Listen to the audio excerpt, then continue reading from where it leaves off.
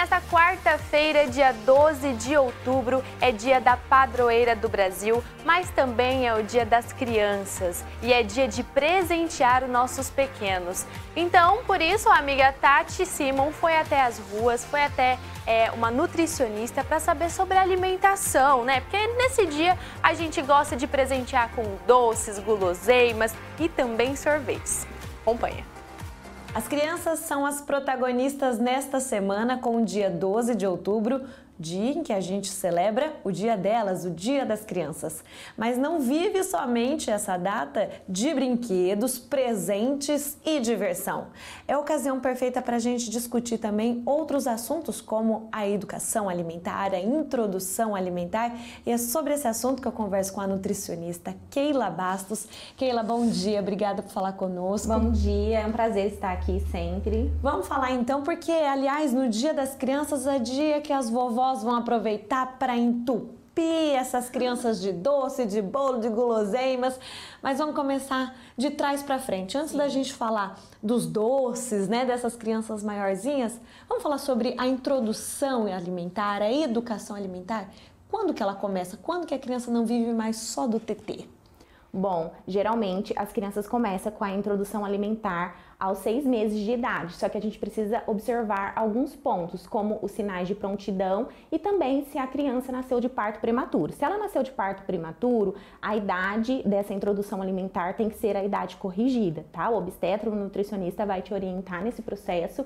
E a introdução alimentar começa com sinais de prontidão também, porque cada bebê é único, né? Quais são esses sinais de prontidão? Então você vê que o seu bebê já senta, ele já fica durinho com a coluna reta, ele começa a pegar as coisas e levar pela boca, então aí você já pode iniciar a introdução alimentar. É bem interessante iniciar também a introdução alimentar com alimentos salgados, não só a frutinha, porque o doce ele já é, é mais palatável, né? Então ela já vai aceitar melhor. Agora você é, iniciando com o salgado e depois mesclando o salgado e o doce, o paladar dela já vai ser outro. E a textura também importa. Com certeza, a textura é muito importante. Então, assim, dependendo de cada caso, nada muito amassadinho. É legal fazer aquele método BMW, se caso, né, o seu bebê conseguir, que é aqueles alimentos cortados, né, é, de forma específica para que ele não engasgue, mas oferecer o alimento mais inteiro é bem interessante. Joia. Agora sim, a parte que eu estava muito curiosa.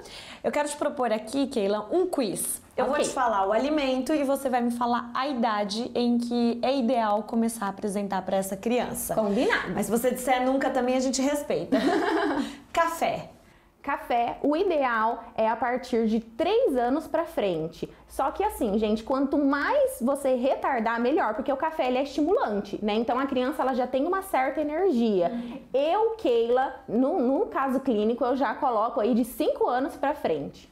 Doces em geral de dois anos a três anos para frente. Eu gosto muito de trabalhar com três anos para frente, tá? Porque os doces ele acaba viciando muito o paladar, aí depois a criança não vai querer ali é, introduzir os alimentos saudáveis. Chocolate. Chocolate tem a ver com doce e tem a ver com café, né? Que ele é doce e ele é estimulante. Então, a partir ali de 4, 5 anos para frente, eu já acho interessante. E o sal? O sal, a partir de um ano, você pode colocar ali pequenas quantidades no tempero da criança. Refrigerante. Olha, para mim nunca. Mas se caso for oferecer, de 5 anos para frente. Bom, a gente falou aí de alimentos que são fáceis de apresentar e da criança aceitar. Mas e aqueles que devem compor a maior parte das refeições, né? Tô falando dos legumes, das verduras e das frutas.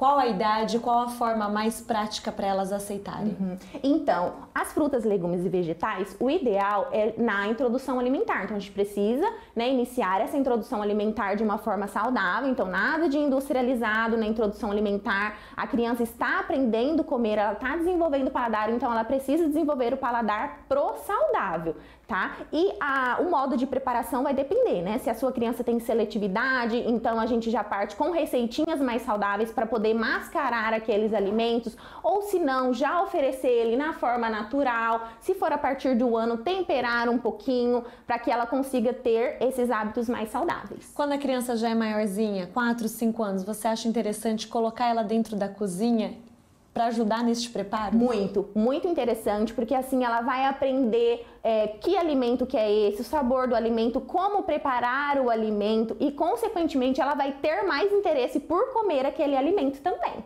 Maravilha, Keila. Excelente Semana das Crianças para você e pra obrigada você mais uma vez. tchau, tchau. Beijo para você, a gente volta daí.